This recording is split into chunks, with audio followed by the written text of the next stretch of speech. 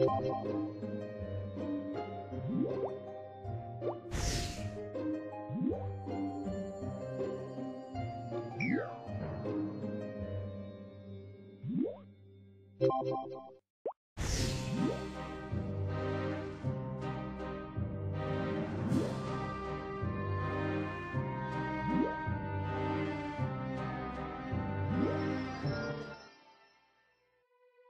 you liked that last video, why not click another?